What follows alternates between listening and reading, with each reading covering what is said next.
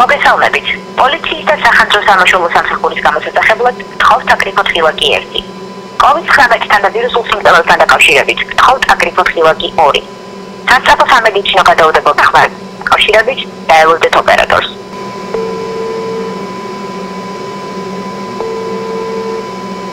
112-ში დარეკვისას ალბათ არაერთი ადამიანს მოусმენია მსგავსი შინაარსის ნაკლებად იმედის მომცემი პასუხი, რომელსაც გადაუდებელი სამედიცინო დახმარება დასჭირდა. ამ მოქალაქეებს შორის ჩვენ მიერ გამოკითხული თელაველებიც არიან რესპონდენტების ის ნაწილი, ვისაც ამ სამედიცინო სერვისის სარგებლობის აუცილებლობა შეექმნა, ამბობს ამ ნომერზე არაერთხელ დაურეკავთ, თუმცა უშეტეკოდ. მიჭირს ერთი რამე შვილო. აი ეს აი ამის დარება სხვა არაფერი არ მიჭირს. სახში არ დაგჭირვებია სასტრაფო. არა, არა, არა, ნამდვილად არა.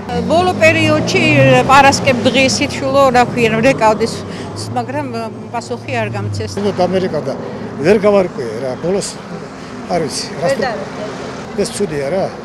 არ დამჭირვებია და ამიტომ არ ვრეკავ ხშირად. საგანგებო სიტუაციების კოორდინაციისა და გადაუდებელი დახმარების ცენტრს Facebook პოსტით პარტია გირჩის წარმომადგენელმა მისივე თქმით ყოველგვარი პოლიტიკური მოტივის გარეშე როგორც მოქალაქე მიმართა და საკუთარი ლეპტოპით მოხალისეობრივი დახმარებისთვის მზადყოფნა გამოთქვა ტორესამოსი ამბობს რომ ის ადამიანები რომლებსაც გადაუდებელი სამედიცინო დახმარება სჭირდებათ სერიოზული პრობლემების წინ დგანან რადგან ცხელხასთან დაკავშირება ხშირად ფაქტობრივად შეუძლებელია ადამიანები შეიძლება რომ უკავშირდება ახალ ანტარიან მოდიფიკაციების შემდეგ უკავშირდებიან.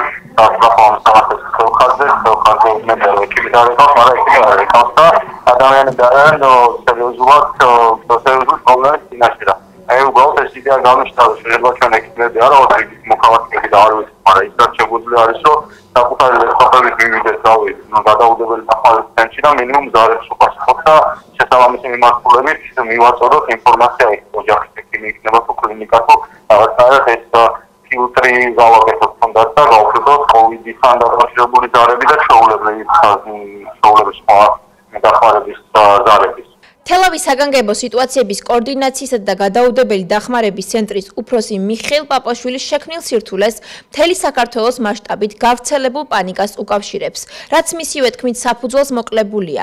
მიხეილ პაპაშვილი ამბობს, 112-ში ერთდროულად უამრავი და ხშირად უსაფუძვლო ზარი შედის და შესაბამისად ქსელის გადატვირთვა ხდება. მისივე განცხადებით, ქვეყანაში COVID-19-თან დაკავშირებით შექმნილი ვითარება კონტროლს ექვემდებარება და მოსახლეობას არ უნდა ეშინოდეს.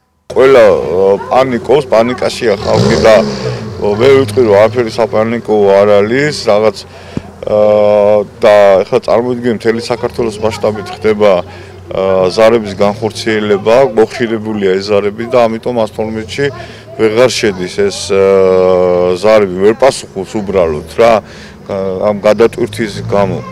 მაგრამ მე მინდა მიმართო თელავის რაიონის მოსახლეობას რომ თუ არის ესეთი შემთხვევა ვიღაცა გადაუდებელია და ვერ უკავშირდება 112 შეუძლია რამდენად დაგვიკავშირდნენ ცენტრში და ჩვენ თვითონ უკვე ჩვენ ოპერატორს დაუკავშირდებით და აქედან გამომდინარე შეგვიძლია რომ ამოუჩინოთ დახმარება. დღეს მოსახლეობას ექიმა ინფექციონისტმა შოთა რაინაულმაც მიმართა.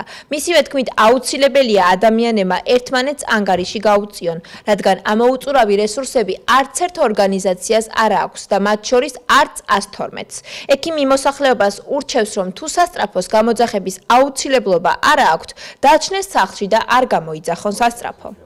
უნდა გაუწიოთ ერთმანეთს შეღავათი, უნდა გვახსოვდეს რომ გარდა ამ ვირუსის არსებობს სხვა დაავადებებიც და ამოუწურავი რესურსი არც ერთ ორგანიზაციას არ აქვს, მათ შორის არც 112-ს და მით უმეტეს არც კლინიკებს, არც ექიმებს, ხო?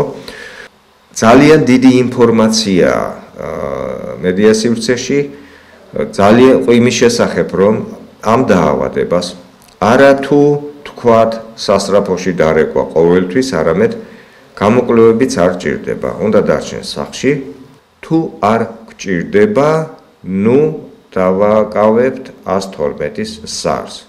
ქვეყანაში არსებული და ნაკლებად იმედის მომცემი COVID სტატისტიკის გამო მოქალაქეებს შექმნილი მდგომარეობის ერთადერთ გამოსავლად ხშირად სწორედ 112-ში დარეკვა ესახებათ. საიდანაც მიღებული პასუხი კი დაელოდეთ ოპერატორს. უსასრულოდ გრძელდება და მეორდება.